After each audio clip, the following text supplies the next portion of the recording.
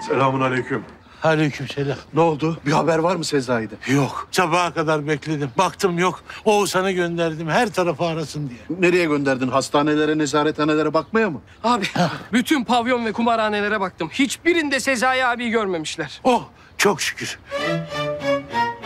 Allah'ım insanın aklına hep kötü şeyler geliyor. Şükür ki oralarda da değil. Bu mu iyi haber? Buna mı sevindin şimdi? Abicim malum otelle de konuştum. O odadan 24 saat boyunca biri çıkmadan o odayı arama kararı çıkarttıramıyorlarmış. Mahvolduk. Bittik, bittik, bittik. Bankadan geliyorum. Sezai çeki bozdurmuş. Ah Sezai, ah kardeşim. Hiç mi bizi düşünmedin? Bari parayı birlikte etseydik. Ah biz suçu kendimizde arayalım bence abi. Biz neden Sezai abi biraz düşünmem lazım deyince ona izin veriyoruz ki yani. Pavyonda değil, kumarhanede değil. Nerede hiç etti lan bu paraları? Yoksa bizim de bilmediğimiz yepyeni bir eğlence anlayışı mı buldu bu? Ya belki dükkanın icrasını ödemiştir. ya ilahi Turgut abi. Şöyle bir ortamda da espri yapıp bizi neşeye gark ediyorsun ya. Gerçek bir mizahşörsün.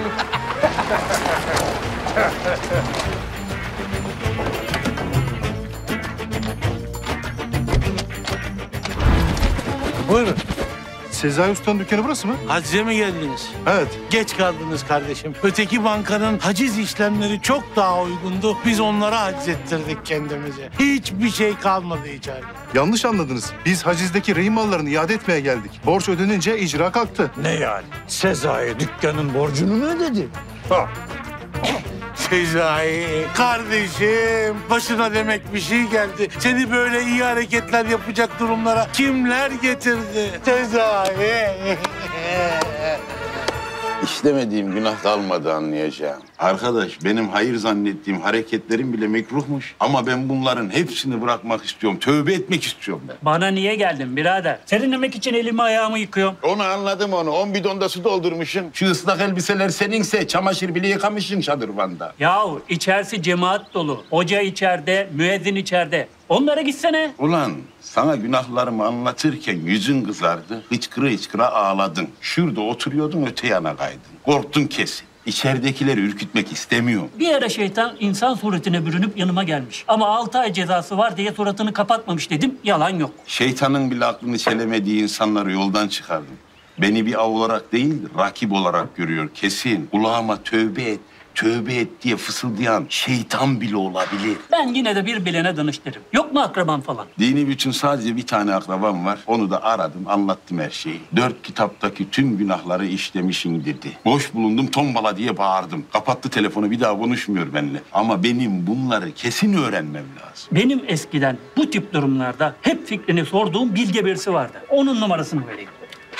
Ver. Ee, bu bizim Şerif Emican'ın kartı. Ben bunu yoldan çıkaralı çok oldu. Gerçi hala beni suçluyor ama o da meyilliydi. Şu an biz bununla ortağız. Mahalledeki tüyü bitmemiş yetimin hakkını yiyoruz beraber. Olamaz. Lan bu adam gece kendisine gelen karabasana abdest aldırıp teheccüd namazı kıldırmış adam. Emin misin? Eminim lan eminim. Şerif abi işte. Neyse. Bilgileri duruyordur herhalde. Hafızasını sildirmedi ya bu adam. Ben gideyim ondan öğreneyim.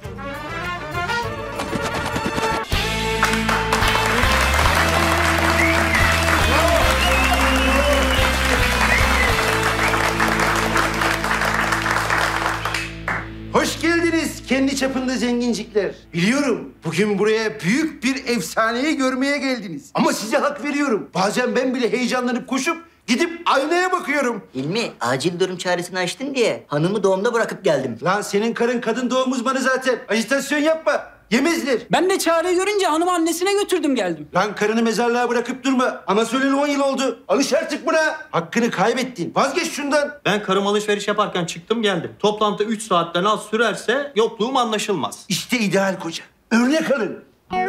Bakayım. Sen niye burnuzdasın ya? Ben karımla evdeydim. Lan ben sana 50 kere karın evdeyken çapkınlık yapma demedim mi? Bir gün yakalanacaksın. Bir tek o zaman şüphelenmiyor Hilmi. Hı. Lan oğlum hepiniz komple karınızla mı birlikteydiniz? Beni kıskandırmaya mı çalışıyorsunuz? Cevap verin adama. Olanı var, olmayanı var. Ben size bunu kovun demedim mi? Şimdi de yancılığa başladı. Böyle petrolcü olmaz. Çıkartın bunu dışarı. Çıkartın. Çık! Çık!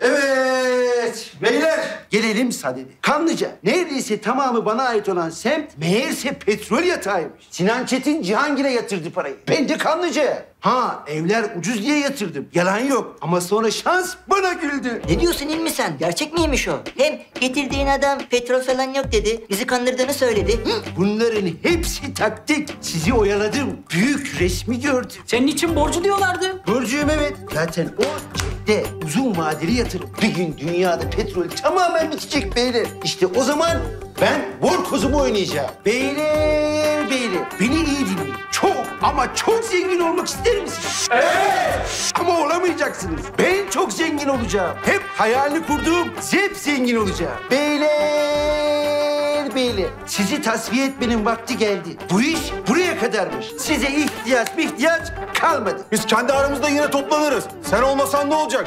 Bize gidek mi? Yok.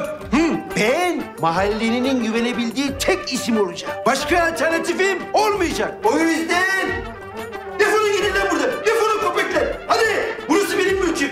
Defolun. Yes, yes, yes petrol. After, after, after bor. Yes petrol. After bor. After, after, after bor. Yes, yes, yes petrol. Yes, yes, yes petrol. After, after, after.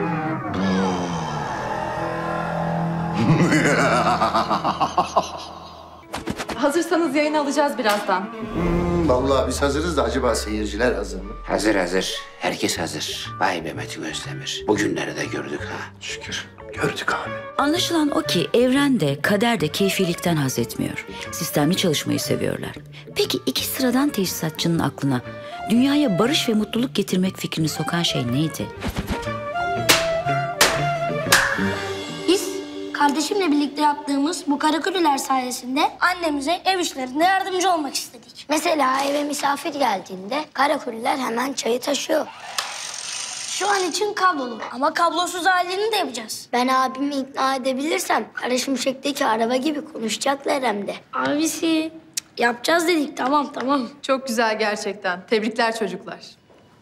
Abisi ödül kesin bizim. E yani bizden daha iyisi yok. Ee, ne yapacağım bakalım kazanacağımız ateriyle? Ne yapayım abi? Dersleri salıp sabah akşam Mario Street Fighter oynayayım diyorum. Zehir gibi zekam var.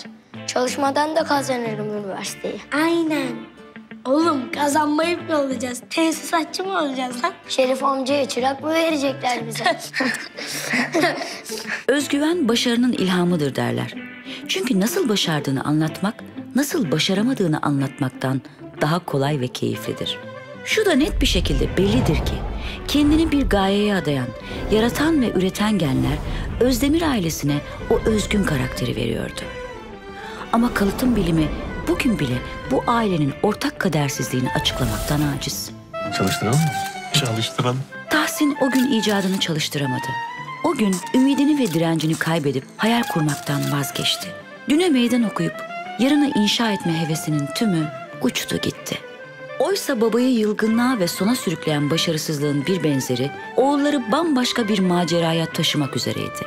Hepiniz çok güzel icatlar yapmışsınız çocuklar. Ellerinize sağlık. Şimdi sıra geldi birinciye. Hazır mısın abi sesmemizi duymaya? Hazırım abi. Bizden iyisi yok. Kazanan icat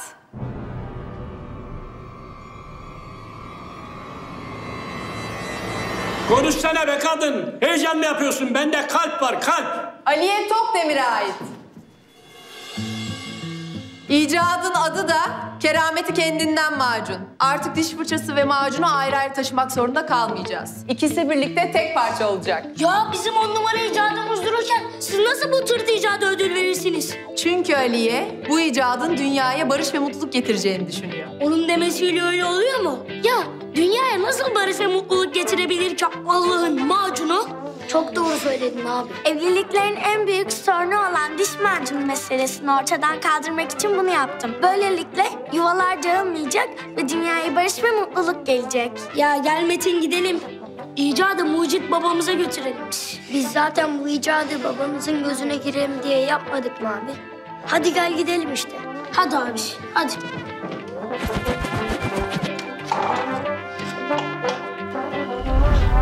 Anne, babam niye bize böyle davrandı?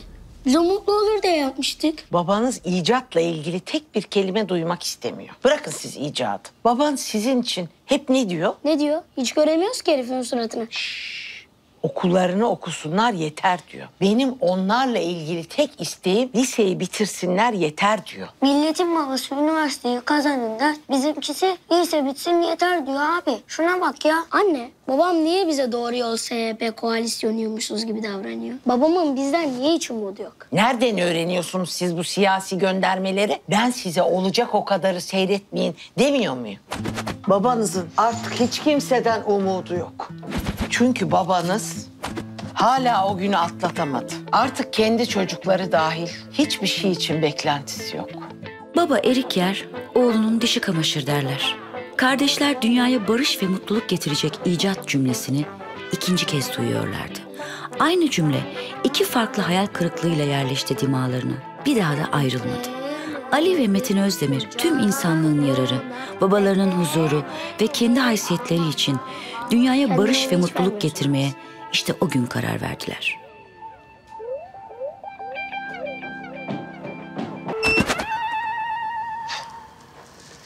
Aynı. Her gece rüyalarımdaki gibi. Hiç değişmemiş. Her gece rüyanda müzikali mi görüyordun? Sonuçta Okçu Kartal efsanesinin başladığı yer burası Feyza. Benim için değerli. Orkçu ne be? He. Ork çalıyorum ya, orkçu işte. Oğlum gitar çalana gitarist deniyor. Orgis falan desen ona.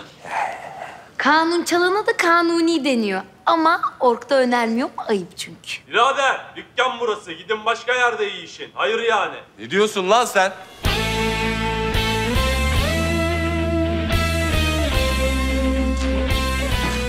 Oğlum nadir değil mi lan bu Türkiye şampiyonu? Sus lan sus çok benziyor.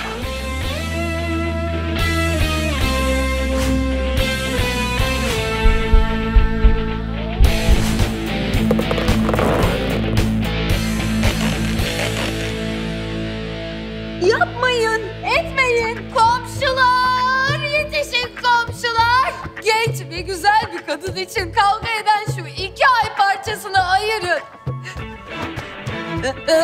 bir kadın için değil mi? Adet olsun güzellik. Başıma sadece dert, dert açtı. Zeki ne oluyor? Hakan taşıyor. Deniz, bütün bunlar hep numara mıydı? Bana sürpriz mi hazırladın? Diyet yapayım diye Hakan taşıyan mı ısmarlıyorsun bana? Bayağı Hakan taşıyan lan bu. Bayağı. Güz gülleri gibi adam. Şş, sakın üstüne çok gitmeyin ha. Hiç bahar yaşamamış. Siz kimsiniz? Hakan Bey biz buranın çalışanlarıyız. Allah Allah. Altı ay önce devraldık dükkanı. Bir yanlışlık olmasın. Bizim çalışanlarımız var. E biz şimdi işsiz mi kaldık?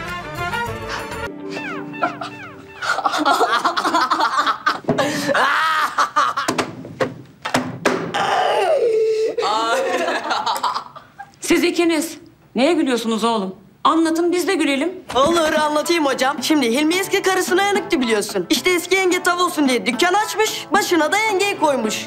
Ee sonra? Açılış tarihi belli değil. Gittikçe uzuyor. Biliyorum. Sebebi ne peki? Vallahi çünkü burada çalışanların hepsi ibrik otu çıktı. Ha. Evet, fotosentez yapmaya üşenip et yiyen bitkiymiş bunlar. İlmi, sen şuna beceremedim desene. Benimle ne ilgisi var diri ya? Malzeme kötü. Vermişler sapla samanı, Mısır piramidi yap diyorlar bana. Uzaylılar gelse depresyona girer. Bir de böyle düşün.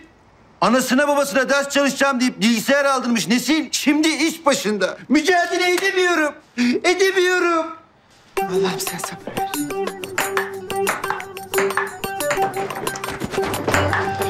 İşte. Eğer okeyde masa tenisi oynuyorlar. Bildiğin hemoroid memesi bunlar. Öldürmeyip süründürüyorlar. Sıcak suya oturtuyorlar. Hilmi yine mi çıktı? Ya kaç defa dedim açık dikkat et şu yediklerine. Ayrıca yapmayın dersin yapmazlar. Bak şimdi. Buyur. Çocuklar oynamayın. Hoş geldiniz hanımım. Nasıl? Olmuş mu? Beğendiniz mi? Daha hiçbir şey bitmemiş ki oğlum. Yok ya ben saçımı soruyorum. Sizin modele benzetmeye çalıştım. Olmuş mu? He ne dedik? Kardeşim tebrik ederim. Yağcılıkta level atladın. Bana da kuaförümü değiştirdim demiştin.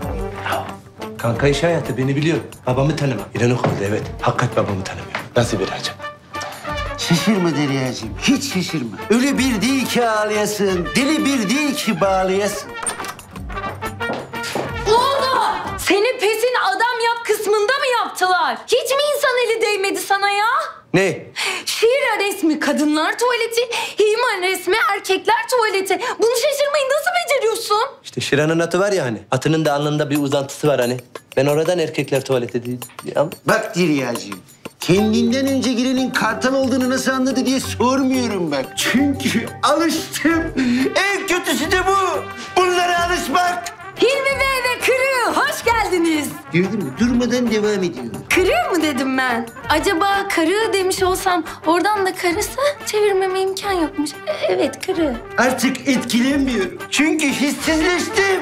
Her gün sucuklu yumurta yiyemeyen aileler için sucuklu yumurta bir toplanma vesilesidir. Türk ailelerinin ortak paydası kan bağı, para ya da aynı soyad değil, sucuklu yumurtadır. Metin, Ali, Feyza hadi gelin sucuklu. Ulan durun bari cümlemi bitireyim. Ben size böyle mi öğrettim çocuğum? Allah! Sucuklu yumurta. Ana ekmek ver ana. Ha, aferin. İşte böyle öğrettim. Saldır hemen.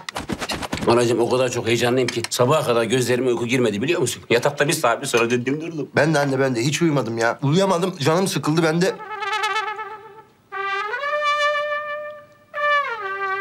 Sen şu kombiyi bir açsana ben bir yıkanayım ana ya. Sucuklu yumurta yüzünden mi ulan? Siz ne boş insanlar oldunuz çocuğum. Sucuklu yumurta yüzünden bu kadar heyecanlanan adam patates kısaltsam herhalde felç geçirecek. Ya anacığım sucuklu yumurta yüzünden olur mu ya? Bizim borla yaptığımız arabayı bugün getirip teslim edecek ya devlet. Araba önemli anne. Neticede kızlar tipe değil arabaya bakıyor artık. Kızlar arabaya bakıyorsa senin giderin olması için iPhone 6 alman lazım abi. Bana mı soktu o lafı? Sana soktu. Bana ne söylüyorsun sana soktu. Aferin kız iyi laf soktun çok. Ve işte her sucuklu yumurtanın sonundaki kabus gibi çöken o an. Tavadaki son sucuk. Metin Evet. hadi sen ye bari bunu. Yok anne ben yemeyeyim ya. Belki akşam birileriyle öpüşürüm. Ulan bir kilo sucuk yedin deminden beri. Şimdi mi aklına karı geldi? Sen al kızım. Yok anne ben yemeyeyim. Ali abim yesin. O çok yaşlı. Ölecek gibi duruyor. Kız haklı. Sen de kemik erimesi, bunama falan da başlar. Benden bile yaşlı duruyor oğlum. Sen ye. Hadi hadi.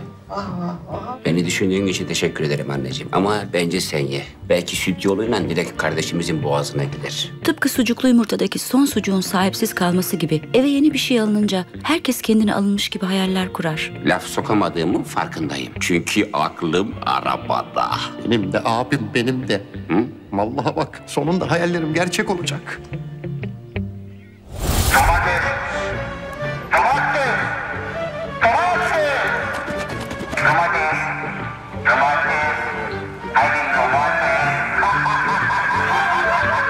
Domatesçi, domates kaç para? Bilmem ki teyze kaç para. Biz sadece bağırıyoruz, satıyoruz ki. Dalga mı geçiyorsunuz ayol benimle? İnşallah batarsınız. Olur mu Kiraz teyze? Biz domates satmıyoruz ki domates alıyoruz.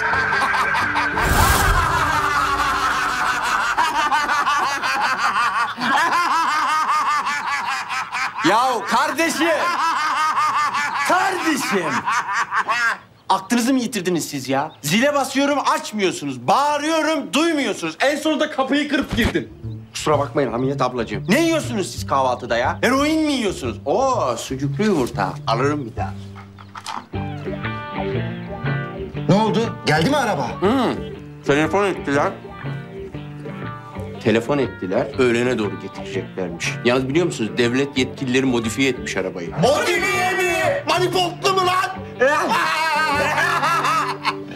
Peki abi 100 bin dolar verecekler bir kere mi? Yoksa 1 milyon dolar verecekler ayda bir kere mi? Brad Pitt ama değil mi?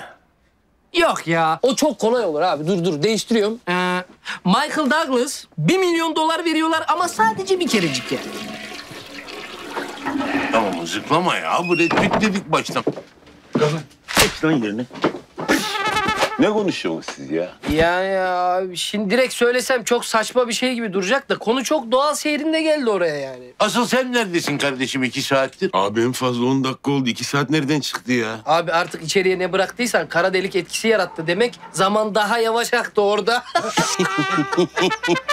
evet film ben de izledim. Saçma yerleri vardı. Hayır o saate ne yüklüyorsun? Bari onu söyle değil mi? Yok.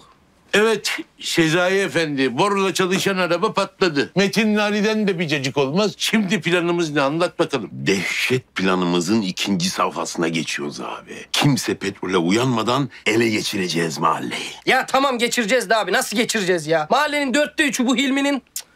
Anam benim aklıma bir fikir geldi. Şimdi ben bu Hilmi'nin karısını baştan çıkarayım. Ağrına gider taşınır mahalleden ha. O iş öyle olmuyor Oğuzhan. Boş ver şimdi ilmiyi. O en son. Alilere mi yükleneceğiz? Anam dur o zaman ben bunların anasını baştan çıkartayım. Kesin giderler mahalleden. Hı? O iş öyle olmuyor Oğuzhan. Alileri de geç şimdi, Alileri de geç. En ufak lokmayı yiyerek başlayacağız yemeğimize. En zayıf halkadan tutacağız abi. Bardaki en çirkin karıya asılacağız. PT1'de değil, PT2'de yayına gireceğiz. Teravihi en hızlı kıldıran camide kılacağız. Ne diyorsun oğlum sen ya? Şerif abiyle Turgut'un dükkanı diyorum. Çökeceğiz. Ama bu defa Mr. Nice Guy'lar olmayacağız abi. Gay olmayalım zaten hemen. Ne gay abi? Gay ya, gay. Aynen, aynen.